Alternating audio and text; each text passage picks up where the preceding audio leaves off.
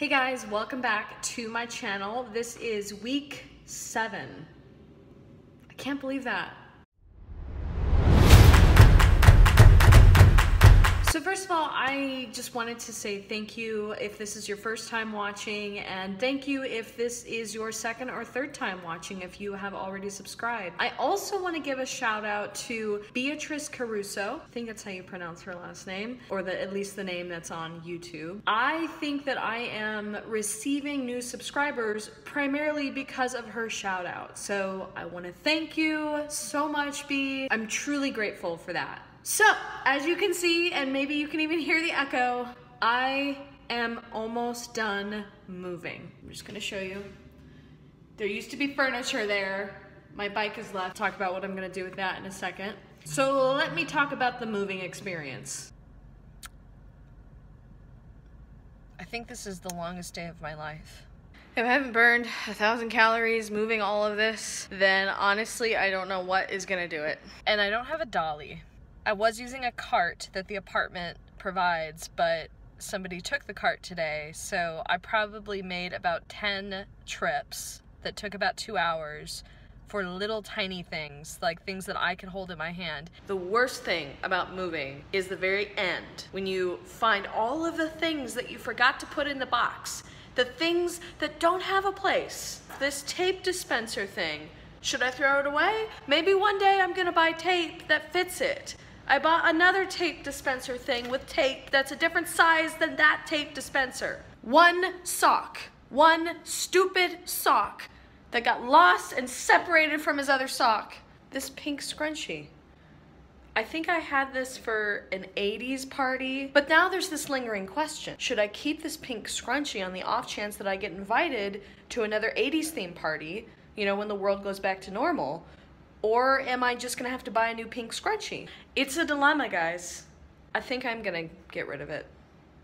About a thousand of these coins. Do people even use coins anymore? I saw an article this morning that said coins are becoming the new toilet paper. I didn't click it because I wasn't that interested. I think that means that people are hoarding coins now. If something really exciting just happened, I feel like I accomplished something incredible. I'm gonna show you. So you guys know those uh, memory foam pads that go on top of beds? They're the hardest to pack. So I wrapped mine in plastic wrap and then bought a vacuum sealed bag and stuffed it in there. It took me about 20 minutes. And now I'm gonna go get a shop vac and make that super small. Yeah, so that kind of took up a lot of my time. Every single day I was packing you just never realize how much stuff you have until you move. It's it's absurd. Because of that, I I'm actually kind of grateful that I started the keto paleo challenge. Uh, my last video, for those of you who did get a chance to watch it, I'm trying to do a modified keto paleo lifestyle kind of thing. I'd like to not even call it a diet. I'm really glad that I did that because I don't have to write anything down.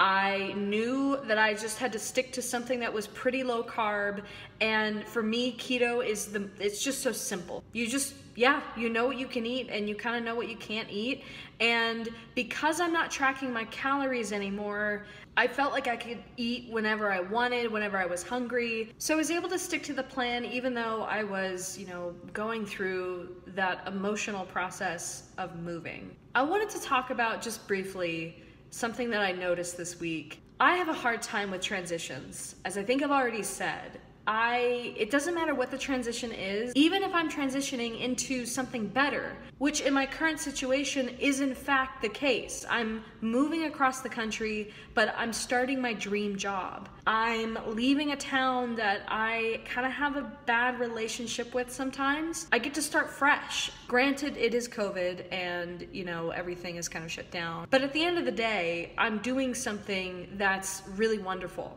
I still have a hard time with transition.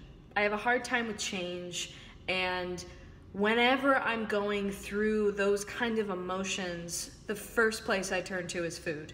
So this week, I, I'm just gonna say it, I was actually pretty impressed with myself that I wasn't giving in to that emotional, you know, stress, anxiety, and then turning to food, turning to carbs, I should say. I was obviously turning to food. I was eating lots of food and it was delicious. So, yeah, I think that I was able to manage that well and hopefully continue that. I think it was a really maybe a really dumb thing, but a really good thing that I kind of said to you all that I was doing a 30 day keto paleo thing. I'm doing this challenge for 30 days and I don't want to mess up. I want it to be as accurate as possible so that on July 15th, I actually have something. I think B herself actually talked about this as a science experiment.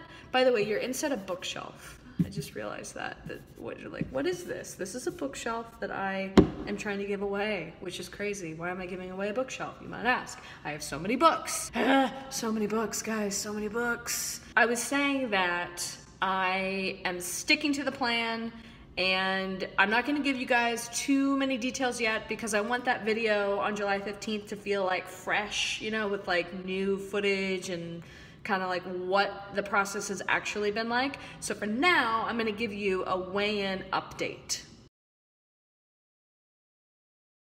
So there you go, guys. Like, there it is. Um, I was at 177. That was my plateau for for like three months. And then the first week losing losing that weight i'm gonna keep doing it. And and i understand that eventually i won't lose like three pounds a week. It'll probably go down to maybe one or two which is kind of where i want to be anyways. So this next week, I am officially moved into my new place. So the next video will be at someone else's house, basically. I am going to do my best to get back into some kind of exercise routine with this bike. So my plan for the bike, this is the last thing that I'm gonna move in my apartment. The place that I'm moving to is about five miles away. What I'm gonna do tomorrow is I'm going to walk to this apartment and I am going to get the bike and I'm gonna ride it back. And that's gonna be my exercise for tomorrow. Is that all I wanna say to you guys? I also wanna say by the time I make another video, I will be a doctor but not like a fancy doctor. I'm a doctor of the humanities, and it just means that I read a lot of books.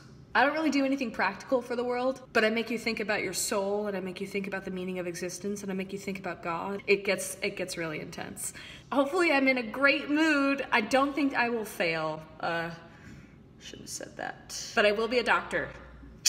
All right, well, that's all I want to say for today. I'm to get back to cleaning basically for the rest of the evening. Hopefully, I get some of my security deposit back, but you never know with these things. Thanks for watching, and see you guys next week.